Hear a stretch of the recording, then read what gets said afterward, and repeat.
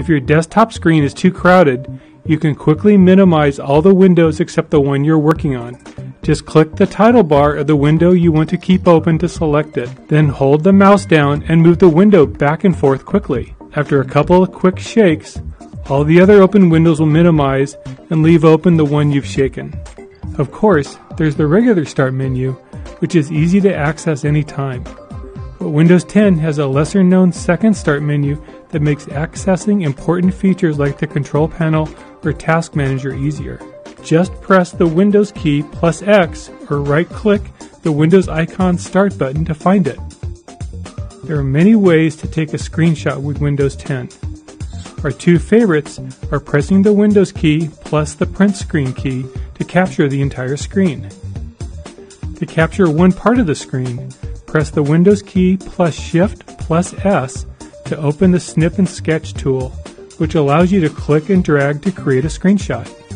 If you want to speed up your computer, you may want to get rid of apps that are taking up space and slowing it down.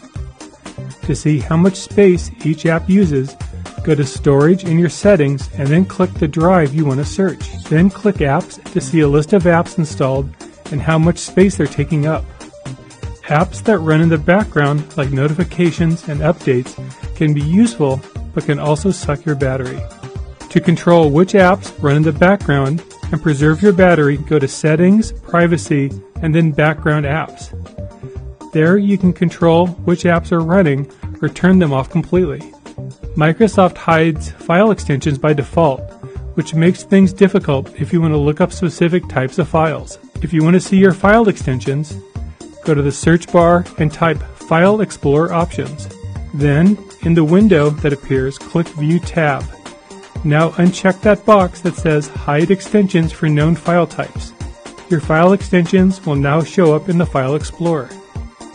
Finally, if you want to cut down on notifications while you're working, try Focus Assist. Set it up by going to Settings, System, and the Focus Assist. You can choose from three options to customize your notifications.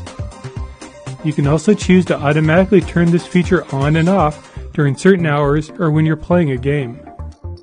For more helpful tips on Windows 10, visit us at cnet.com.